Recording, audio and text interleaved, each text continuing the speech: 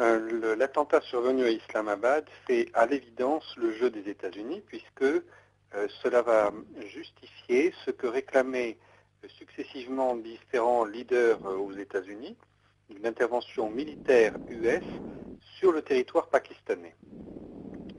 Dès lors, dans la mesure où on voit que c'est à eux que profite le crime, on doit se demander qui l'a commandité.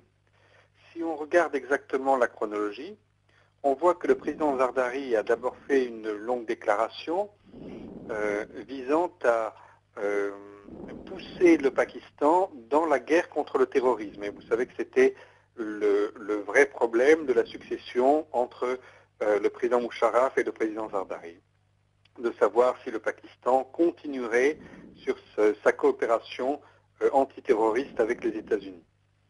Donc il fait cette déclaration et il essaye de justifier de cette coopération avec les États-Unis, mais le président Zardari n'a pas grand euh, argument pour cela, sinon satisfaire son, protecteur à Washington.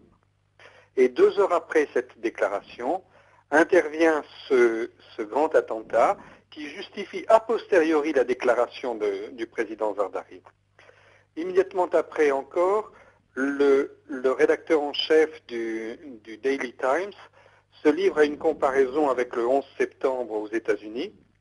Et cette comparaison est reprise dans la totalité des, dépêches d'agences de presse occidentales dans les minutes qui suivent, avec un timing parfait de toute euh, l'habitude évidente de la propagande euh, atlantique.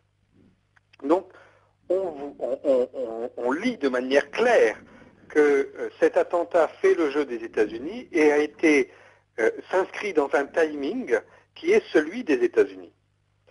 Pourquoi les États-Unis sont obligés aujourd'hui de franchir une étape supplémentaire dans cette guerre au terrorisme?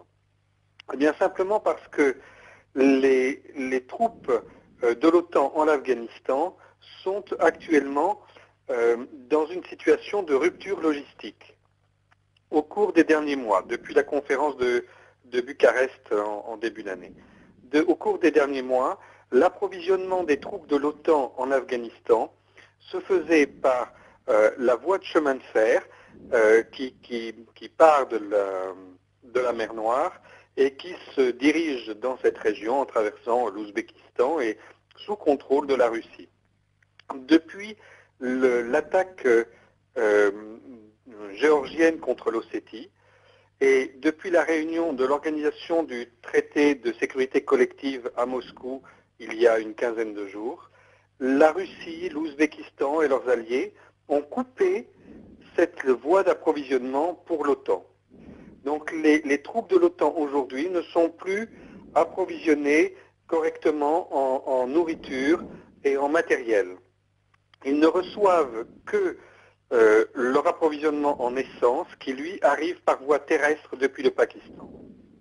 Il faut donc, de manière urgente pour les États-Unis, euh, créer un couloir de communication entre le Pakistan et l'Afghanistan pour euh, l'approvisionnement qui manque à leurs troupes. Or, la configuration géographique de l'Afghanistan, avec une grande chaîne montagneuse à l'est, ne, laisse la place qu'à un seul couloir de communication entre Karachi et Kaboul, qui est le, passage de Kebar. Et euh, il y a quelques semaines, de quelques mois déjà, lors de l'anniversaire du prophète, on se souvient que le, poste frontière de Kebar avait été fermé pendant trois jours. À ce moment-là, les camions d'approvisionnement en essence de l'OTAN avait stationné pendant trois jours euh, à ce poste frontière et le flux des camions euh, incessants avait donc euh, amené un, regroupement très important de camions d'essence et les insurgés afghans avaient au dernier moment fait sauter ces camions dans un gigantesque attentat qui n'a d'ailleurs aucun équivalent dans l'histoire militaire contemporaine. Donc, depuis ce moment-là, les États-Unis sont obligés de d'utiliser très peu ce, couloir de communication et toujours avec d'importantes escortes. Donc c'est ça le vrai enjeu aujourd'hui, d'obtenir la collaboration du Pakistan pour que les États-Unis euh, ouvrent cette voie de communication, la maîtrisent complètement avec leurs propres troupes, donc envahissent et annexent une partie du Pakistan pour l'approvisionnement de leurs troupes en Afghanistan.